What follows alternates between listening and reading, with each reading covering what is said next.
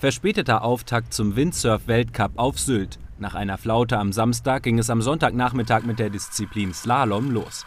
Die Wetterverhältnisse strahlender Sonnenschein, ausreichender Wind und ruhige See. Die besten Windsurfer der Welt treten zu insgesamt 16 Entscheidungen an. Die erste werden WM-Favorit Antoine Albo aus Frankreich und der Italiener Alberto Menegatti unter sich ausmachen. Sie stehen nach den Ausscheidungsrennen im Slalom-Finale. Der beste Deutsche Gunnar Asmussen war im Halbfinale gescheitert und tritt nun im Losers Final gegen Sylt-Rekordsieger Björn Dunkerbeck an. Der Wetterbericht macht Hoffnung für die kommenden Wettbewerbe.